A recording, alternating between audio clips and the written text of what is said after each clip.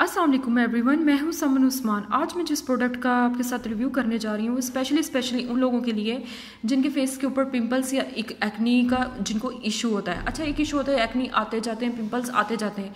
But ये उन लोगों के लिए जिनको आ चुके हैं तो अब उनको क्या करना है? कौन सा फेस वॉश यूज़ करना है? कौन आ, कौन सा क्लिनजर कौन सा स्क्रब तो आज मैं जिस प्रोडक्ट का रिव्यू कर रही हूँ वो है फेस वॉश जिनके स्किन के ऊपर एक्नी आ चुका है। आप देख सकते हैं इसके ऊपर लिखा हुआ है एंटी एक्नी प्रिवेंशन वॉश और इसका नाम जो है वो एक्नीज है ये मुझे किसी, एक डर्माटोलॉजिस्ट है उन्होंने सजेस्ट किया है।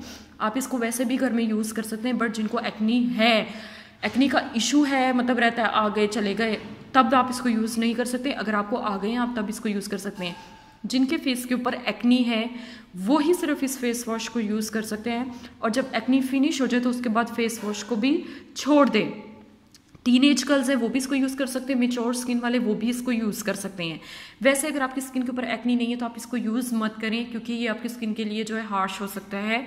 अगर किसी की एक्नी और उसको इचिंग या रेडनेस इस फेस वॉश को यूज़ करने से हो रही है तो वो तब भी इससे अवॉइड करें, इसको छोड़ दें। क्योंकि इसका जो फार्मूला है, वो इस किस्म का है कि जो हमारे स्किन के ऊपर एक्नी है, उसके अगेंस्ट ये बहुत जल्दी फाइट करता है। ये वाला फेस वॉश इस वजह से आप इसको आम रूटीन के ऊपर, अपनी स्किन के ऊपर नहीं यूज़ कर सकते, क्योंकि, ये सिर्फ़ एक्नी के लिए ही एक्नी के अगेंस्ट फाइट करता है। तो आपको देख लें अगर आपकी स्मूथ और साफ़ स्किन है और आप एक्नी फाइट वाला कोई फेस वॉश यूज़ करना स्टार्ट कर दें, वो भी एक antibiotic sorry medically tested medically हो, किसी मेडिकल स्टोर से मिलता हो फार्मेसी से, कोई मतलब ब्यूटी प्रोडक्ट्स में जिसका ना हो। तो आप उस प्रोडक्ट को जब अपनी स्किन के ऊपर यूज़ करेंगे तो कोई ना कोई इशू हो सकता है। ठीक है तो सिर्फ़ इसको मैं उन लोगों के लिए रिकमेंड करूँगी जिनके फेस पे एक्नी आ चुका है। और जब तक एक्नी है, तब तक वो इसको यूज़ करें।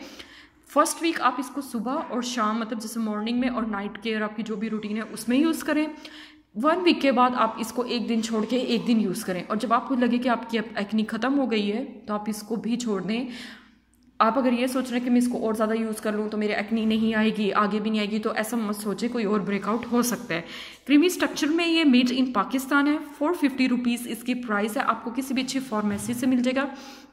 अब तो किसी अच्छी ब्यूटी प्रोडक्ट्स की जो शॉप है, वहाँ पे भी फार्मेसी से रिलेटेड प्रोडक्ट्स पड़े होते हैं तो आपको ये वहाँ से भी मिल जाएगा।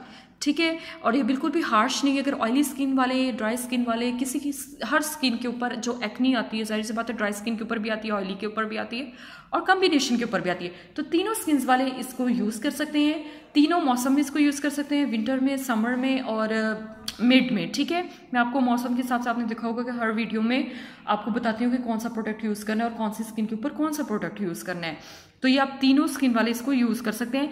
और अगर कोई लड़की ये कहे कि मेरी स्किन ऑयली है सेंसिटिव है या कोई निशान है, मैं उनके लिए यूज़ करूँ तो ये एक्नी के निशानों के लिए भी ये वाला face cleanser face wash use नहीं होता। जस्ट जस्ट जो एक्नी फोड़े, दाने उनके लिए होता है। इससे रिलेटेड कोई भी क्वेश्चन आपने पूछना हो तो आप कमेंट्स बॉक्स में मुझसे पूछ सकते हैं। Thank you so much